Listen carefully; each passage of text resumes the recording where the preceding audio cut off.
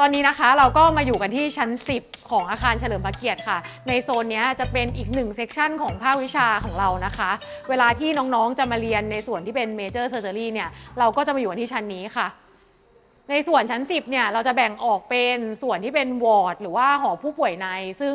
คนไข้ของเราเนี่ยก็จะ admit หลังทำการผ่าตัดกันที่นี่นะคะ แต่ในวันนี้เนี่ยที่เราจะพาน้องๆเข้าไปดูกันเนี่ยจะเป็นส่วนของห้องผ่าตัดนะคะ ที่อาจารย์ทำการผ่าตัด major surgery ต่างๆ ซึ่งเดี๋ยวเราก็จะบอกกันว่า major surgery เนี่ยมีอะไรบ้าง เวลาที่น้องๆเข้ามาดูงาน major surgery เนี่ยจะต้องปฏิบัติตัวยังไงก็เดี๋ยวเข้าไปดูกันนะคะ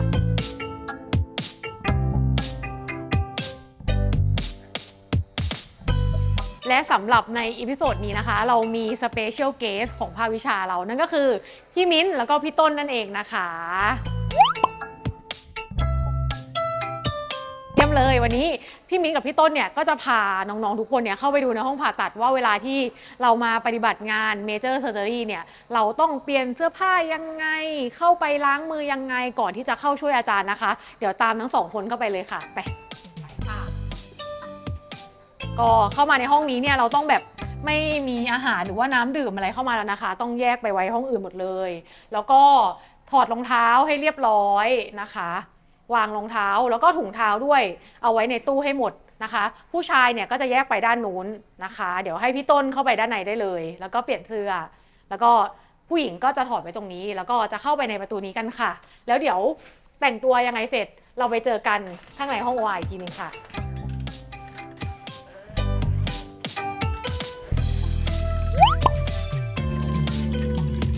ก็เดี๋ยวเราจะแอบเข้ามาดูห้องแต่งตัวของผู้หญิงนะคะ บอกว่าอันนี้แค่แอบเข้ามาดูจะได้ให้น้องๆรู้ว่า พอเข้ามาเนี่ยเราจะเจออะไรบ้างเดี๋ยวน้องมิ้นลองเล่าให้น้องๆฟังเลย ค่ะ ก็อันนี้นะคะก็จะเข้ามาสู่ในห้องแบบว่าแต่งตัวแล้วนะคะ พอเข้ามาปุ๊บนะคะน้องๆก็จะเห็นค่ะว่ามันจะมีเป็นตู้วางพวกเสื้ออยู่ คือตู้เนี่ยเขาก็จะเขียนเลยว่ามันจะมีทั้งตัวที่เป็นเสื้อ กางเกง แล้วก็กระโปรงชุดกระโปรงขาอันนี้น้องๆก็สามารถเลือกได้เลยว่า น้องอยากจะใส่เสื้อกับกางเกง หรือว่าน้องอยากจะเลือกน้องผู้หญิงบางคนอยากอาจจะอยากเลือกเป็นชุดกระโปรงก็ได้ค่ะแล้วพอเราเลือกหยิบชุดเสร็จปุ๊บ ทีนี้ตรงนี้ข้างๆเนี้ยค่ะ ก็จะมีตัวส่วนของหมวกกระดาษค่ะ ก็ให้เราหยิบหมวกเข้าไปด้วย แล้วพอเราหยิบของทั้งหมดเสร็จปุ๊บอะค่ะ อันนี้ก็จะมีเป็นห้องแต่งตัวก็อยู่ตรงนี้ ให้เราถอดเสื้อข้างในของเราออกให้หมด แล้วก็ค่อยใส่เป็นชุดสครับแทนนะคะ แล้วพอเราเปลี่ยนชุดเสร็จแล้วนะคะ จากนั้นน่ะเราก็จะเดินเข้าไปข้างในในห้องนี้ค่ะเดี๋ยวจากนี้นะคะ เดี๋ยวเราค่อยเจอกันข้างในนะคะ ค่ะก็หลังจากที่เราเปลี่ยนชุดกันเรียบร้อยนะคะ เราก็จะมาอยู่ในห้องส่วนกลางนะคะ ซึ่งห้องนี้เนี่ยก็จะมีตู้ล็อกเกอร์นะคะสำหรับน้องๆเก็บของต่างๆ ก่อนที่จะเข้าไปในห้องผ่าตัด เดี๋ยวตอนนี้เรามารอว่าพี่ต้นเนี่ยแต่งตัวพร้อมหรือยังนะคะ ไม่รู้ว่าเสร็จหรือยังลองเคาะถามดูออกมาหรือยัง แต่เราเปิดไม่ได้นะคะ ต้องขอให้เขาเปิดออกมาเอง เดี๋ยวเปิดไปแล้วตกใจเลย อ้าวโอเคกันแล้วล่ะครับ เสร็จแล้วเสร็จแล้วอ้าวโอเคค่ะ ก็สำหรับห้องส่วนกลางนี้นะคะ ก่อนที่เราจะเข้าไปในห้องผ่าตัดเนี่ยก็แนะนำว่าหากน้องๆมีสัมภาระอะไรนะคะ อยากให้วางไว้ในล็อกเกอร์ที่ห้องนี้ให้หมด เพื่อลดการปนเปื้อนของเชื้อโรคที่เรานำมาจากด้านนอกเนี่ยเข้าไปในห้องผ่าตัดค่ะ ก็เมื่อเราวางของกันเรียบร้อยแล้วนะคะ ก็เดี๋ยวเข้าไปในห้องผ่าตัดกันเลยค่ะ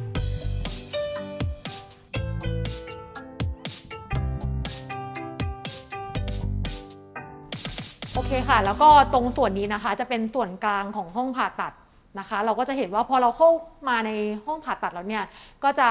มีห้องต่างๆ มากมายนะคะ ห้องแรกตรงนี้จะเป็นห้อง recovery room นะคะ แล้วก็ห้องเตรียมผู้ป่วย เวลาที่คนไข้จะเข้ามาผ่าตัด หรือว่าหลังผ่าตัดเสร็จเนี่ยก็จะมาพักที่ห้องนี้ก่อน ก่อนที่จะกลับไปที่หอผู้ป่วยในค่ะ ในคณะทันตแพทย์ของเรานะคะ เรามี OR ทั้งหมด 5 ห้อง ก็คือมีห้องผ่าตัด 5 ห้องเลย ประกอบไปด้วย 3 ห้องที่เป็นห้องผ่าตัดใหญ่ แล้วก็ 2 ห้องที่เป็นห้องผ่าตัดเล็กนะคะ ถ้าหากว่าน้องๆทุกคนเนี่ยคนไหนได้มีโอกาสได้รับการแอสไซน์จากอาจารย์ให้เข้าไปช่วยภายในเคสนะคะ ก็ไม่ต้องตกใจเลยนะคะ วันนี้เนี่ยเราจะมาสอนน้องๆ ว่าจะต้องเตรียมตัวยังไงนะคะ ในการล้างมือก่อนที่จะเข้าไปช่วยในการผ่าตัดค่ะ แล้วก็วันนี้แอบ มีเกสพิเศษอีกคนหนึ่งของเรานะคะ ก็คือพี่ตุ้มนั่นเองนะคะ พี่ตุ้มเนี่ยสแตนบายพร้อมแล้ว พี่ตุ้มเป็นพยาบาลประจำห้องผ่าตัดนะคะ แล้วก็วันนี้เนี่ยเดี๋ยวพี่ตุ้มนะคะก็จะมาสอนน้องๆทุกคนว่าเราจะล้างมือยังไงให้ถูกต้องและมีทิปแอนทริคยังไงนะคะ พี่ตุ้มไม่ได้มาคนเดียว เมื่อกี้เรามีเกสพิเศษอีกสองคนใช่ไหมคะ พี่ต้นของเราเนี่ยก็จะเป็นคนที่มาสอนเราอีกคนนึง เป็นคนที่จะสาธิตให้เราดูค่ะ ว่าการล้างมือที่ถูกต้องเป็นยังไงค่ะ เราไปชมกันเลย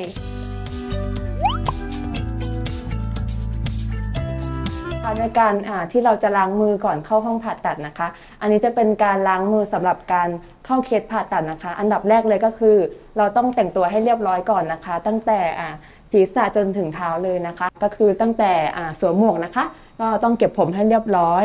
ต่างหูใส่ได้นะคะ แต่ว่าไม่ใหญ่เกินไปนะคะค่ะแล้วก็ตรงแขนเสื้อเลยเป็นจุดสำคัญเลยนะคะ ให้เราพับแขนเสื้อให้ขึ้นเหนือข้อศอกประมาณ 2 นิ้วนะคะ ทางซ้ายและขวาเลยนะคะ ค่ะต่อไปนะคะจะเป็นวิธีการล้างมือ 7 ขั้นตอนนะคะ อันดับแรกเลยก็คือเราจะใช้อ่าบริเวณหัวเข่าของเรานะคะ เปิดน้ำเบาๆนะคะ ไม่แรงมากนะคะค่ะแล้วก็ล้างมือนะคะโดยใช้มือนะคะ ผ่านน้ำเข้าไปจนถึงข้อศอกที่เราล้างมือเลยนะคะ ทั้งสองข้างเลย หลังจากนั้นนะคะเราจะใช้อ่าปิดน้ำก่อนแล้วเราก็จะใช้มืออารองน้ำยาเบตาดีนเป็นสำหรับตะขับมือนะคะ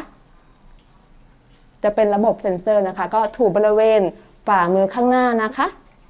ค่ะ แล้วก็บริเวณซอกนิ้วข้างหน้า หลังมือนะคะ หลังมือสองข้างเลย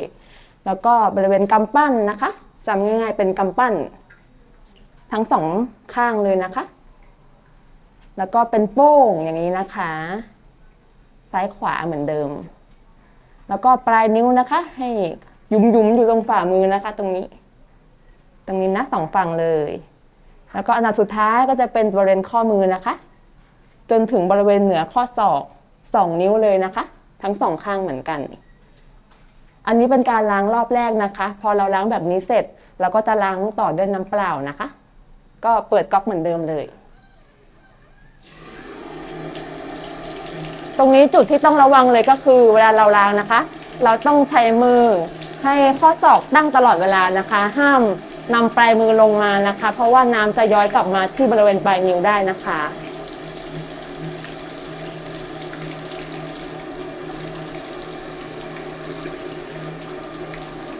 ค่ะเรียบร้อยแล้วเราก็จะล้างมืออีกครั้งหนึ่งนะคะ ก็คือเราล้างทั้งหมด 2 รอบ รวมกันระยะเวลาในการล้างมือประมาณ 3-5 นาทีนะคะ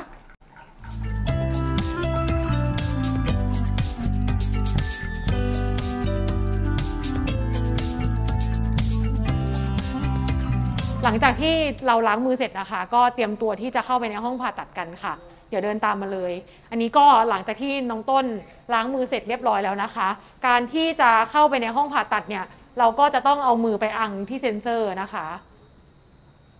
พอเราเอามือไปอังที่เซ็นเซอร์เสร็จเนี่ยประตูห้องผ่าตัดก็จะเปิดออก มือเราจะไม่สัมผัสกับอะไรเด็ดขาดนะคะ แล้วก็เข้าไปในห้องผ่าตัด เริ่มต้นก็จะใช้ผ้าเช็ดมือ ซึ่งเป็นกระดาษเช็ดมือในเซตนะคะ เช็ดมือทั้งสองข้างนะคะหนึ่งแผ่นเนี่ยก็จะใช้เช็ดมือหนึ่งข้างค่ะ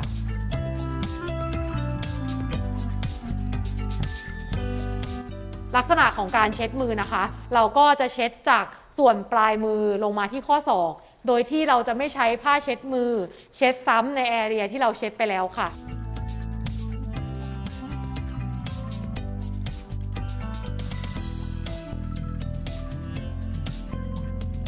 แล้วเราก็เช็ดมืออีกด้านหนึ่งค่ะ ก็ไม่ต้องรีบเช็ดนะคะ ในสเต็ปนี้ให้เช็ดมือให้แห้ง เพราะว่าถ้าเราเช็ดมือไม่แห้งเนี่ยเวลาขั้นตอนที่เราไปใส่ถุงมือต่อเนี่ยก็จะใส่ถุงมือได้ยาก ตอนนี้ทุกคนก็จะเห็นแล้วว่าทำไมเราถึงต้องอเตรียมตัวล้างมือให้เกินข้อศอกขึ้นมา แล้วก็พับเสื้อให้เรียบร้อยนะคะอะแล้วก็พอเราเช็ดมือเสร็จเราก็จะใส่เสื้อ การใส่เสื้อเนี่ยเราจะสัมผัสเฉพาะด้านในของเสื้อเท่านั้นนะคะ เพราะว่ามือเราเนี่ยก็จะสะอาดไม่เท่ากับตัวเสื้อสเตอร์ไลน์นะคะ เราสวมเข้าไปโดยสัมผัสจากด้านในแล้วจะมีพยาบาลหรือว่าผู้ช่วยนะคะ มาคอยผูกเสื้อให้เรานะคะ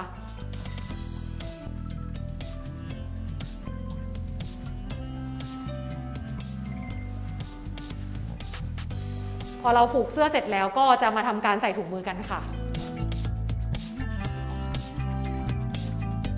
อันนี้ก็คือลักษณะของการใส่เสื้อนะคะ ก่อนที่เราจะสวมถุงมือแล้วก็เข้าไปช่วยในห้องผ่าตัดค่ะ หลังจากที่เราใส่เสื้อเสร็จนะคะ วิธีการสวมถุงมือสำหรับการเข้าช่วยในห้องผ่าตัดในการทำ major surgery เนี่ยเราจะใส่ถุงมือในวิธีการที่เรียกว่า close technique นะคะ เดี๋ยวต้นก็จะสาธิตให้ดูค่ะ ลักษณะของ close technique เนี่ยจะไม่มีส่วนใดของมือโผล่พ้นออกมาจากเสื้อที่สวมระหว่างการผ่าตัดนะคะ ถุงมือจะถูกวางเป็นเซตด้านซ้ายและขวา แล้วก็ค่อยๆใส่นะคะ โดยที่จะเอาด้านซ้ายใส่ก่อนใช้นิ้วโป้งดันเข้าไปแล้วก็ดึง เอาในข้างแรกเดี๋ยวเราใส่แค่พอให้ถุงมือเนี่ยมันเข้าไปในมือก่อน อาจจะยังไม่ได้เข้าทุกนิ้วหรือว่าพอดีสำหรับการผ่าตัดขนาดนั้นนะคะ แล้วก็หลังจากนั้นเนี่ยใช้ใช้มือด้านซ้ายที่ใส่ถุงมือแล้วนะคะ เป็นตัวใส่ถุงมือทางด้านขวา ก็จะทำในการใส่ด้านขวาเนี่ยเราจะใส่ได้ง่ายขึ้น เพราะว่ามือด้านซ้ายเราเนี่ยมันสวมถุงมือไปแล้ว จะสังเกตเห็นว่าถุงมือของเราเนี่ยก็จะทับไปบนข้อมือเสื้อตัวข้อข้อมือของเสื้อผ่าตัดเลยนะคะ ก็จะทำให้ไม่มีส่วนใดของร่างกายเราบริเวณมือเนี่ยโผล่พ้นออกมาจากเสื้อแล้วก็ถุงมือ sterile ค่ะ ในบางกรณีเราก็อาจจะใช้การดึงตัวเสื้อนะคะ ช่วยเพื่อดึงให้ตัวถุงมือเนี่ยเข้ามาแนบกับบริเวณข้อมือเราอย่างดีนะคะ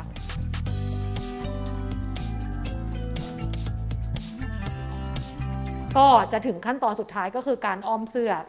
บริเวณเอวนะคะ ก็จะมีเชือกที่ผูกอยู่นะคะ เราก็จับขึ้นมาทั้งสองมือเลยนะคะ แล้วก็ดึงกระดาษให้ขาดออกนะคะ มือซ้ายให้จับเชือกค้างไว้ มือขวาเนี่ยจะจับที่แผ่นกระดาษ ที่แผ่นกระดาษนะคะ ให้เราจับในตำแหน่งสีขาว จะเห็นว่าตำแหน่งสีเขียวเนี่ยเขาจะเขียนไว้ว่าเป็น assistant site นะคะ ก็คือในด้านนี้เราจะอ้อมไปให้ผู้ที่เป็นผู้ช่วยที่อยู่นอกฟิลนะคะ จับแล้วก็ช่วยในการผูกเสื้อให้เรานะคะ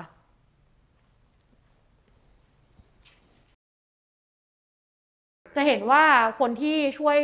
จับ กระดาษไว้นะคะ ก็จะจับในส่วนที่เป็นสีเขียวทำให้บริเวณนี้เนี่ยไม่เกิดการคอนทามิเนตนะคะ หลังจากนั้นเนี่ยตัวโอเปอเรเตอร์นะคะ ก็ล่นมือมาจับเฉพาะเชือกอย่างเดียว ตัวผู้ช่วยนะคะเขาก็จะดึงตัวเชือกให้ขาดหลังจากที่เราอ้อมไปแล้วนะคะ จากนั้นเนี่ยเราก็มาผูกเสื้อให้กระชับกับตัวของเรานะคะ เพื่อจะได้เข้าไปช่วยการผ่าตัดได้ค่ะ